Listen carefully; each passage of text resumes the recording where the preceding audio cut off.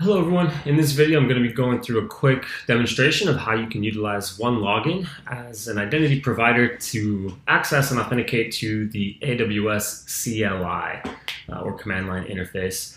Uh, in this particular configuration, we're going to be doing a browser-based authentication, meaning that when you're accessing CLI, you actually authenticate through your browser, which gives you the ability to enforce all of the same types of access control policies uh, as you would if a user was signing into the OneLogin portal. So, for example, all of your standard multi-factor policies. Uh, if you're using SmartFactor authentication, you can do risk-based or contextual authentication.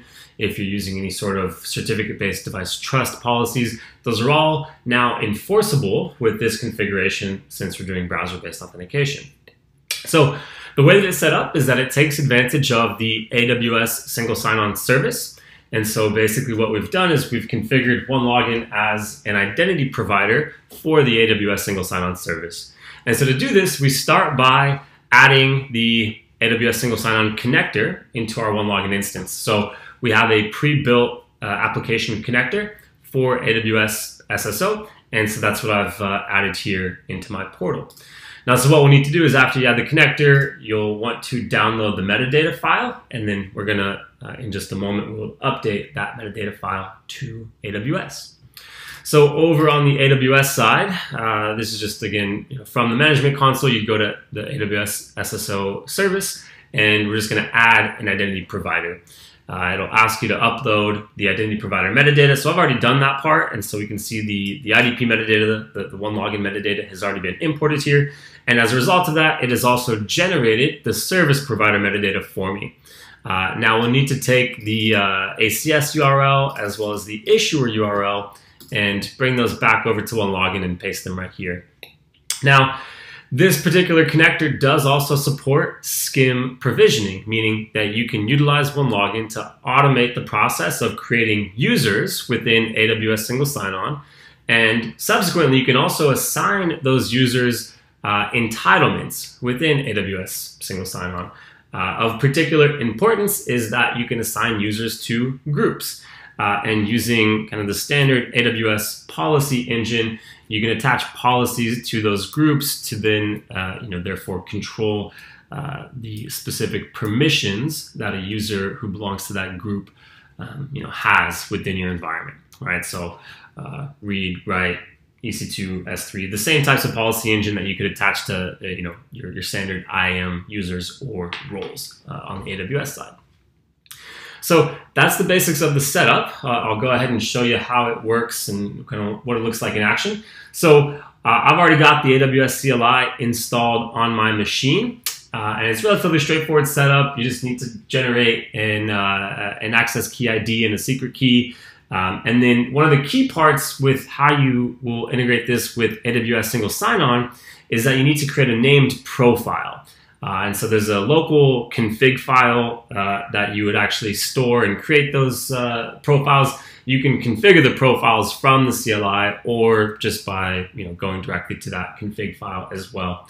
But essentially what that does is it determines which SSO role is attached to that particular profile. So what permissions are attached to that particular profile. So basically the way that it works is when I want to sign in, I'll just use the command AWS SSO login, and then I can specify the profile that I want to sign into as a command line variable. So I've already got a profile called admin. I'm going to go ahead and sign into that one. So we'll see what's going to happen here in a moment is once I submit this uh, command, it's going to launch a browser window for me, and that's going to initiate the authentication flow. So I'll go ahead and run the command. So that's where it launches the browser window for me. Uh, you may have seen it flash up there momentarily to automatically enters in this code for me. And then because we have OneLogin configured as the identity provider, it's now asking me to sign in. So at this point, any standard user or app policies that you have configured within OneLogin are applied here. So that means if you've got desktop single sign-on configured, that would you know work just fine here. If you've got any uh, multi-factor authentication policies configured, those would be enforced, which we'll see in a moment. Uh, and that could be you know, explicitly enforced multi-factor using basic MFA policies, or it could be risk and contextual-based MFA enforcement if you're using SmartFactor authentication. Uh, and then, of course, you also have the ability to do things like certificate-based device trust here, or you know, IP whitelisting, blacklisting, or geographic whitelisting, blacklisting. All of those things are now possible because we're doing browser-based authentication here. So in this particular scenario, I'm going to be asked for multi-factor. So I've got OneLogin Protect set up as my default authentication factor. Of course, any of the authentication factors that you've enabled in your OneLogin account would work just fine here. So I'll go ahead and accept the push notification I received from OneLogin Protect, and uh, that's basically going to complete the authentication flow. Uh, so what we'll see here is um, I just need to click this button, sign into the CLI, and then there we go. I've been successfully signed in. So now over here in the actual CLI itself, we can see I'm successfully signed in. And uh, if I just run a quick test command, uh, we'll be able to verify that as well.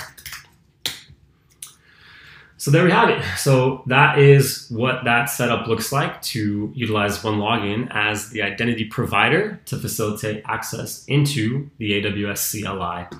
So if you have any questions, feel free to reach out and contact your uh, technical sales team. And thanks for watching.